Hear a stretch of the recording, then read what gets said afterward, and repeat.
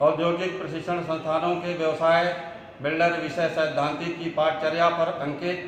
आज का प्रसंग advantage of gas metal arc welding and modes of method पर हम आज आपसे चर्चा करने वाले हैं या आपको प्रशिक्षण प्रदान करने वाले हैं। इसके विषय में से जानने से पहले इसका परिचय भी बताना चाहता हूँ आपको। अब हम आपको बताने वाले हैं, या हम आपके साथ चर्चा करने वाले हैं, आज का प्रसंग है advantage of gas metal arc welding and modes of method ये आज का प्रसंग है। आज के प्रसंग में हम चर्चा करने वाले हैं इस प्रसंग पर। जैसा कि आप देख रहे हैं स्क्रीन पर आप, ये वेल्डिंग हो रही है। ये आर्क वेल्डिंग हो रही है, लेकिन नाम दिया हुआ है, गैस मेटल आर्क वेल्डिंग अब परिचय हो जाए गैस मेटल आर्क वेल्डिंग का, कि gas arc gas metal arc welding क्या है? किसे कहते हैं? गैस, मेटल, आर्क वेल्डिंग, ये एडवांस वेल्डिंग तकनीक है। या यूँ कह लीजिए, या एक आधुनिक वेल्डिंग है। और इसकी विशेषता ये है कि प्लेटों और चादरों को जोड़ने की सबसे उत्तम क्रिया है। गैस, मेटल आर बिल्डिंग के द्वारा हम प्लेटों और चादरों को जोड़ सकते हैं। नेक्स्ट पॉइंट बात करें, क्योंकि इसमें बिल्डिंग जॉइंट बेस मेटल के समान ही होता है। बिल्ड मेटल की सुरक्षा के लिए सील्डिंग गैसेज यानी सुरक्षात्मक गैसें जैसे CO2 गैस आदि को प्रयोग में लाया जाता है। गैस मेटल आर्क बिल्डिंग को मिग या मैग के नाम से भी जाना जाता है। बच्चों, आप थोड़ा इसके पीछे का भी अध्ययन कर लेते हैं, अर्थात इसकी, इसके इतिहास पर एक नज़र डाल लेते हैं। इसका इतिहास है गैस मेटल, आर्क वेल्डिंग के जो सिद्धांत बने थे, वो 19वीं शताब्दी के शुरुआत में बनाए गए थे। मतलब गैस मेटल, आर्क वेल्डिंग का सिद्धांत 19वीं शताब्दी के आरंभ में, शुरुआत में ये बनाए गए थे। और बढ़ते बढ़ते 1920 में गैस मेटल आर्क वेल्डिंग को P O Nobel General Electric के द्वारा डेवलप किया गया था, विकसित किया गया था। और सही रूप में इसको 1940 में फेरस तथा नॉन फेरस मेटल वेल्डिंग के लिए डेवलप किया गया।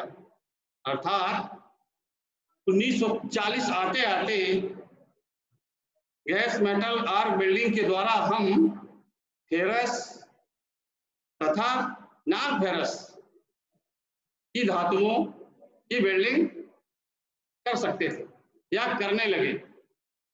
फेरस मतलब लो नॉन फेरस मतलब अलो लो माइल्ड स्टील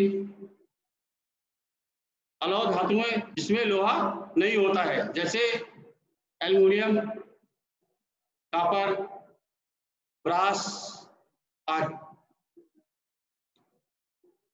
बढ़ते क्रम में 1950 और 1960 के दशक में इसका उन्नत तरीका, यानी और बेहतर तरीका विकसित किया गया, जो हमारे देश की इंडस्ट्रीज़ के लिए बहुत उपयोगी सिद्ध हुआ कोई देश तभी विकास करता है, जब उसकी इंडस्ट्रीज़ विकास करती है। या इंडस्ट्रीज़ में नई टेक्नोलॉजी का प्रयोग किया जाता है। गैस, मेटल, आर्क बिल्डिंग में कुछ उपकरण भी लगाए जाते हैं। अब उन उपकरणों के बारे में, उनके विषय में जानकारी कर लें। फ़र्स्ट पॉइंट है पावर सप्लाई वेल्डिंग करते हैं, इसके लिए हमें पावर की ज़रूरत होती है। अर्थात एनर्जी की ज़रूरत होती है। और वो पावर कहाँ से लेते हैं? वेल्डिंग करने के लिए। ध्यान रहे वेल्डिंग करने के लिए हमें पावर मशीन से लेना पड़ता है। मशीनें हैं rectifier set DC motor generator set इनका प्रयोग करते हैं। हम डायरेक्ट मेन सप्लाई से वेल्डिंग नहीं कर सकते हैं। क्यों? क्योंकि मेन सप्लाई में वोल्टेज ज़्यादा होता है और करंट कम होता है। इसके लिए हम मशीनों का प्रयोग करते हैं।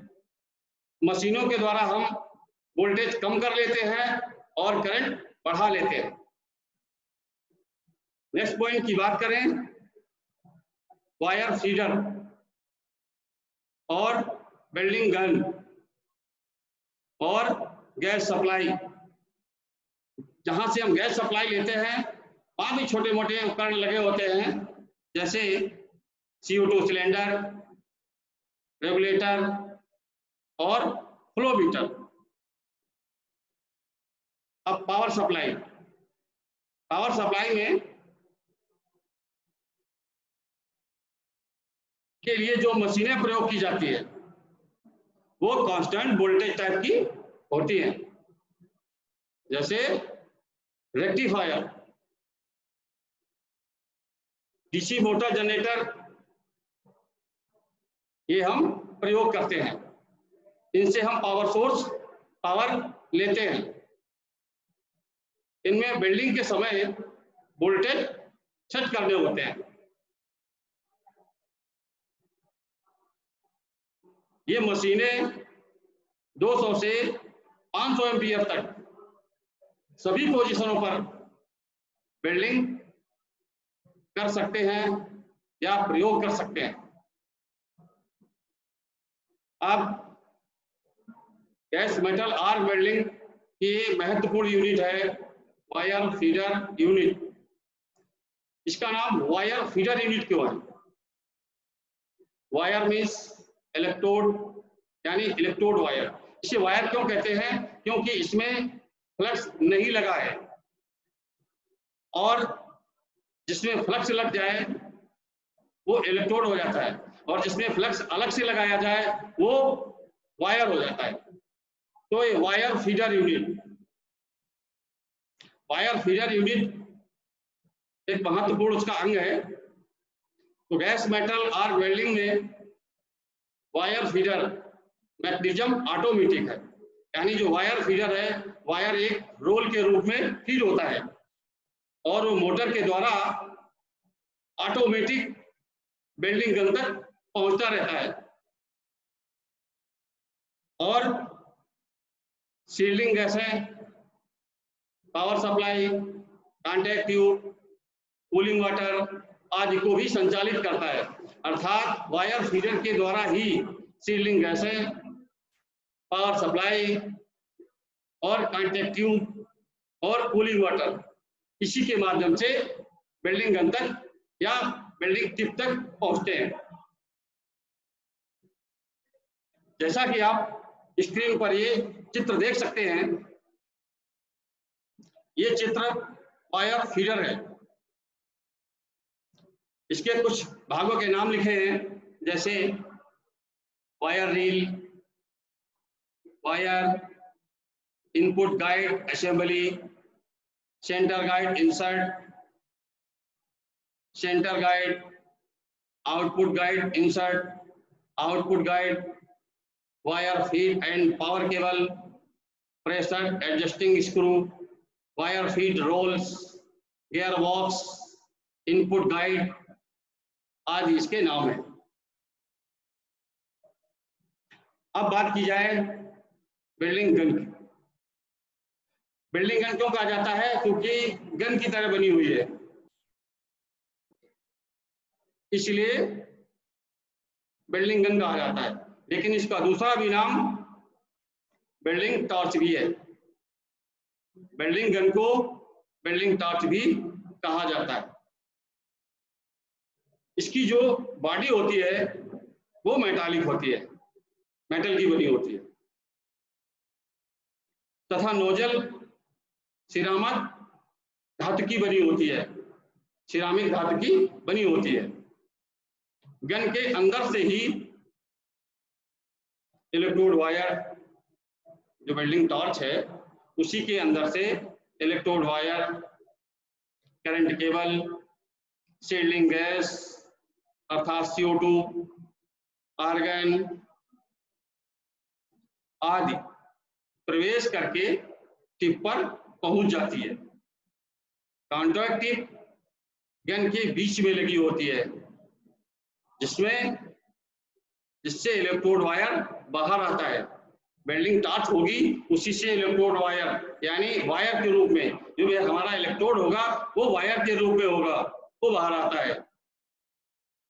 और जॉब पर वेल्डिंग करना शुरू कर देते हैं। वेल्डिंग गन के तीन महत्वपूर्ण कार्य होते हैं। वेल्डिंग टॉर्च कहें या वेल्डिंग गन कहें, इसके प्रमुख तीन काम हैं। जैसे सीलिंग गैस की सप्लाई करना। अर्थात CO2 गैस की सप्लाई करना। और दूसरा है वेल्डिंग करंट की सप्लाई करना। और तीसरा इलेक्ट्रोड वायर की सप्लाई करना। इसे इलेक्ट्रोड वायर क्यों कहा जाता है? इसे इलेक्ट्रोड क्यों नहीं कर सकते हैं? क्योंकि ये इलेक्ट्रोड वायर के रूप में है। इसमें फ्लक्स नहीं लगा है। हम फ्लक्स अलग से लेते हैं। इसलिए इसे इलेक्ट्रोड वायर कहते हैं। यानी जो इलेक्ट्रोड वायर के रूप में हो, उसे हम इलेक्ट्रोड कहते हैं। इलेक्ट्रोड वायर कहते हैं। जैसा कि आप स्क्रीन पर देख सकते हैं वेल्डिंग गन का चित्र है। इसके प्रमुख भागों के नाम लिखे हैं। Welding electrode current contact tube nozzle gun switch gun handle gas tube, composite cable और इलेक्ट्रोड गाइड ट्यूब। आप बात कर लिया है गैस सप्लाई।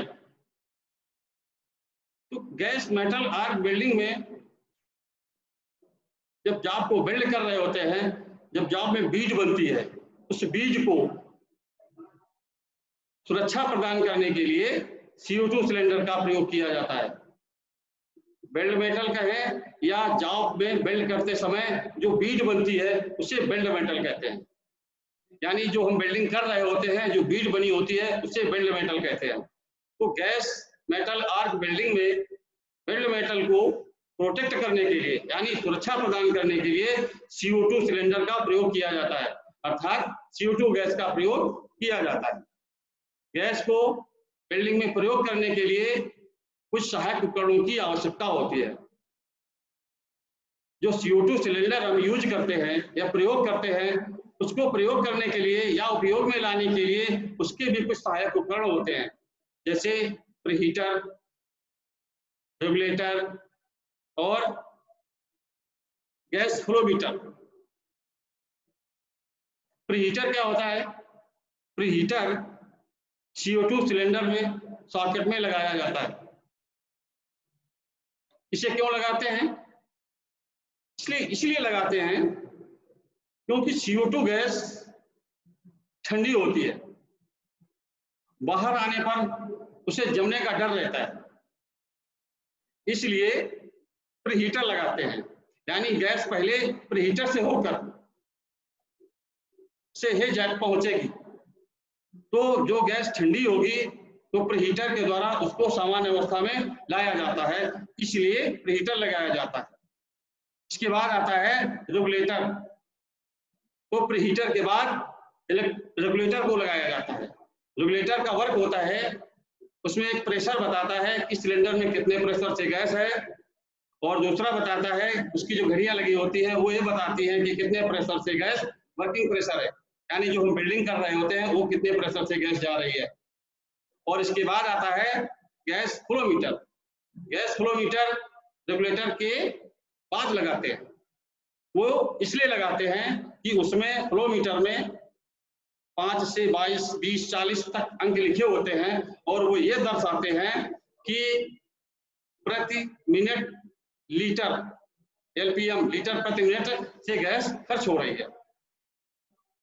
अर्थात CO2 गैस प्रयोग करने के लिए हमें ज़रूरत होती है CO2 सिलेंडर की, फिर फिर हीटर की रेगुलेटर की, गैस फ्लोमीटर CO2 सिलेंडर में पहले प्रीहीटर लगाते हैं, उसके बाद रेगुलेटर लगाते हैं, उसके बाद गैस फ्लोमीटर लगाते हैं। अब महत्वपूर्ण गैस, मेटल आर्क वेल्डिंग का ये महत्वपूर्ण काम है। Metal transfer metal transfer moding gas metal arc welding. ये सबसे महत्वपूर्ण भाग है। तो गैस मेटल आर्क वेल्डिंग में मेटल ट्रांसफ़र तीन प्रकार से होता है। फ़र्स्ट पॉइंट ग्लोबुलर ट्रांसफ़र दूसरा डिप या शॉर्ट सर्किट ट्रांसफ़र तीसरा स्प्रे ट्रांसफ़र अब बात कर ली जाए ग्लोबुलर ट्रांसफ़र तो जब हम माइल्ड स्टील की वेल्डिंग कर रहे होते हैं तो वेल्डिंग करते समय वेल्डिंग वोल्टेज 24 से 28 बढ़ाए जाते हैं। तो इलेक्ट्रोड वायर बेस मेटल के संपर्क से पहले ही करंट की मात्रा से पिघल जाता है। अर्थात जो हमारा इलेक्ट्रोड वायर होता है, वो बेस मेटल से टच नहीं हो पाता है और पहले ही करंट के माध्यम से वो पिघल जाता है।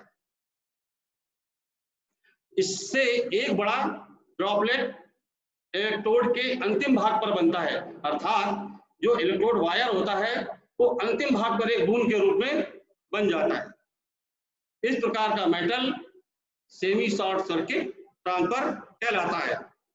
इस मेथड का प्रयोग फ्लैट पोजीशन हॉरिजॉन्टल पोजीशन आदि में किया जाता है। जैसा कि आप स्क्रीन पर चित्र देख सकते हैं, एक ग्लोबुलर ट्रांसफ़र का फिगर है। कैसे ट्रांसफ़र होता है मेटल गन नोजिल पार्ट्सों के नाम है। ये जो ऊपर आपको दिखाई दे रहा है, ये गन नोजिल है। नोजिल के नीचे इलेक्ट्रोड वायर है। आपको चारों तरफ़ से लाइनें दिख रही हैं। ये सीडलिंग गैस है ये आर्क को चारों तरफ़ से घेरे हुए हैं। इसलिए घेरे हुए हैं कि वातावरण में नाइट्रोजन और ऑक्सीजन मौजूद है और वो वेल्ड मेटल को प्रभावित करेंगी। माना जोड़ कमज़ोर कर देंगे भुभरा कर देंगे, इसके लिए इस गैसों का प्रयोग किया जाता है। अब बात करें dip or short circuit transfer तो मिग या मैग बिल्डिंग के लो वोल्टेज, अर्थात डीप या शॉर्ट सर्किट ट्रांसफ़र में वोल्टेज लो होता है। ग्लोबुलर में क्या होता है? उसमें करंट हाई होता है। इलेक्ट्रोड बेस मेटल के टच होने से पहले ही करंट से इतनी मात्रा होती है कि वो ड्राप के रूप में पिघल जाता है। और शॉर्ट सर्किट ट्रांसफ़र में क्या होता है? इसका वोल्टेज लो होता है। इसलिए बिल्डिंग करंट इतना नहीं होता है कि वो इलेक्ट्रोड वायर को पिघला सके। इसका प्रयोग पतली सीट की बिल्डिंग में प्रयोग करते हैं। इसमें पिघला हुआ इलेक्ट्रोड का भार ड्राफ्ट के ऊपर में बेस मेटल को स्पर्श करने के बाद ही अलग होता है। अर्थात इसका थ्योरी ये है कि इलेक्ट्रोड वायर बेस मेटल में टच होगा, इसके बाद ही वो बेस मेटल में बिल्ड हो जाएगा। इसका प्रयोग किसी भी स्थिति में कर सकते हैं। प्रत्येक स्थिति में किया जाता है। इसे शॉर्ट सर्किट ट्रांसफ़र भी कहा जाता है। जैसा कि आप चित्र पे देख रहे हैं, इलेक्ट्रोड वायर का अंतिम भाग बेस मेटल के टच होने पर ही मेटल ट्रांसफ़र होगा। अब बात करें स्प्रे ट्रांसफ़र अब आप समझ रहे होंगे, स्प्रे स्प्रे का मतलब होता है स्प्रे करना। यानी छोटी छोटी बूंदें डालना स्प्रे करना। इसका मतलब ही है स्प्रे ट्रांसफ़र अर्थात स्प्रे करना।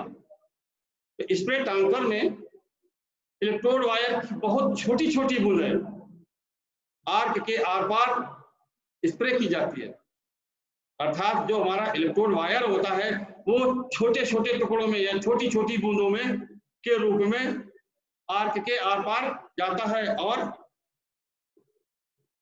मेटल बेस मेटल से बेल्ट हो जाता है। अर्थात स्प्रे ट्रांसफ़र में इलेक्ट्रोड वायर की बहुत छोटी छोटी बूंदें आर्क के आर पार स्प्रे की जाती हैं। और इस प्रकार के ट्रांसफ़र का प्रयोग हम अगर बहुत जल्दी बिल्डिंग करना होता है तो इसका उपयोग कर लेते हैं। अर्थात जल्दी बिल्डिंग के लिए किया जाता है। स्प्रे ट्रांसफ़र के लिए हैवी करंट की आवश्यकता होती है। यानी हाई करंट होगा तभी हमारा इलेक्ट्रोड वायर बूंद के रूप में पहुंचेगा। इसमें आर्गन गैस के साथ साथ फाइव परसेंट ऑक्सीजन भी प्रयोग की जाती है। इसका प्रयोग एल्यूमिनियम की थ्री एम mm से अधिक मोटी प्लेटों की बिल्डिंग के लिए किया जाता है। जैसा कि आप स्क्रीन पर चित्र देख रहे हैं, gun nozzle electrode wire gas shield stream of metal spray droplets, ये इसका फिगर बना हुआ है। अब बात कर ली जाए, महत्वपूर्ण है। बच्चों, आज का जो टॉपिक था, वो टॉपिक यही था। Advantage of gas metal arc welding तो गैस मेटल आर्क बिल्डिंग के क्या लाभ है? और क्या हानियाँ हैं? इस पर भी बात कर ली जाए। तो इसके लाभ ये हैं कि मिग या मैग बिल्डिंग सभी स्थितियों पर कर सकते हैं, सभी पोजीशनों पर कर सकते हैं, चाहे वो फ्लैट पोजीशन हो ओरिजेंटल पोजीशन हो ओवरहेड पोजीशन हो, चाहे फ्लैट पोजीशन हो, और चाहे वर्टिकल पोजीशन में हो। अर्थात सभी पोजीशनों पर बिल्डिंग कर सकते हैं। और इसका लाभ ये है कि इसमें इलेक्ट्रोड वायर के रूप में होता है, जब इसलिए जल्द खत्म नहीं होता है। इसलिए लगातार प्रयोग होने वाले इलेक्ट्रोड वायर की डिपॉजिट दर अधिक होने के कारण बिल्डिंग स्पीड अधिक होती है। अब मैनुअल आर्क बिल्डिंग में क्या करते हैं? जो हम आर्क बिल्डिंग कर रहे होते हैं, उसमें बिल्डिंग करते हैं बीट बनाते हैं तो हमारा इलेक्ट्रोड खत्म हो जाता है। दूसरा इलेक्ट्रोड यूज़ करते हैं। इसमें क्या है? इसमें इलेक्ट्रोड नॉन कंज्यूमेबल है। यानी कंज्यूम नहीं होता है, ये खत्म नहीं होता है। इसलिए इसमें बिल्डिंग स्पीड अधिक होगी। इसमें इलेक्ट्रोड वायर रोल के रूप में है फिर इसमें, और जो आर्क बिल्डिंग करते हैं, उसमें इलेक्ट्रोड खत्म हो जाता है। फिर इलेक्ट्रोड हम लगाएँगे तो टाइम वेस्ट होगा। इसमें क्या होगा? इलेक्ट्रोड वायर लगातार चलता रहता है। इसलिए बिल्डिंग स्पीड अधिक होती है। और लंबी बीड भी लगा सकते हैं। जो मैं आर्क वेल्डिंग के इलेक्ट्रोड है, उसमें बीड थोड़ी सी लगेगी। और वायर के रूप में जो इलेक्ट्रोड होता है, उससे आप लंबी बीड लगा सकते हैं। अर्थात लंबी बीड बिना रुके लगातार इलेक्ट्रोड वायर प्रयोग होने के कारण लगाई जा सकती है। स्प्रे ट्रांसफ़र प्रयोग करने पर एम एम ए डब्ल्यू की अपेक्षा अधिक पेनिट्रेशन प्राप्त कर सकते हैं। बिल्डिंग करने का सबसे महत्वपूर्ण भाग है पेनिट्रेशन अगर आप पेनिट्रेशन अच्छा नहीं होगा तो हमारा बिल्डिंग ज्वाइंट कमज़ोर होगा।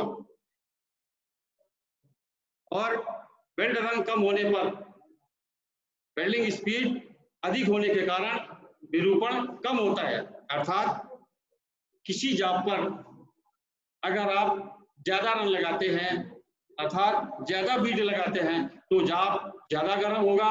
जब जाप ज़्यादा गर्म होगा तो उसे डिस्टर्शन होने के चांस अर्थात विरूपण होने के चांस ज़्यादा होते हैं। इसलिए इसमें बेल्ट रन कम लगाने पड़ते हैं, इसलिए इसमें डिस्टर्शन होने के चांस कम है। गैस मेटल आर्क वेल्डिंग प्रक्रिया एक लो हाइड्रोजन प्रक्रिया है, जो हाइड्रोजन क्रैकिंग के लिए अति संवेदनशील सामग्री पर वेल्डिंग के लिए अच्छा बनाती है। वहाँ बहुत कम लावा का उत्पादन होता है। इस प्रक्रिया का उपयोग हर स्थिति में किया जा सकता है, जो समर्थ आर्क वेल्डिंग प्रक्रिया का एक फ़ायदा है। यह एक ऐसी प्रक्रिया है, जिसे कभी कभी अन्य प्रक्रियाओं की तुलना में सीखना आसान होता है। अब इसकी कुछ हानियाँ हैं, जो कुछ पॉइंट में दी हुई है। जैसे गैस मेटल आर्क वेल्डिंग की जो मशीन है उसके जो टूल्स हैं, वो बहुत महँगे होते हैं। नेक्स्ट पॉइंट है, इन्हें वर्कशॉप में एक स्थान से दूसरे स्थान तक ले जाना कठिन होता है। इसमें छोटे छोटी जगहों पर या छोटे छोटे कोनों की बिल्डिंग करना कठिन होता है। ये आउटडोर बिल्डिंग के लिए उपयुक्त नहीं है। आज का सारांश है या प्रशिक्षण का सारांश है advantage of gas metal arc welding and modes of method हम सभी या आपको आज ये जानने को मिला कि गैस मेटल आर्क बिल्डिंग में कितने टूल्स होते हैं क्या क्या उपकरण होते हैं कैसे कैसे मेटल ट्रांसफ़र होता है, ये आज हम लोगों ने सीखा।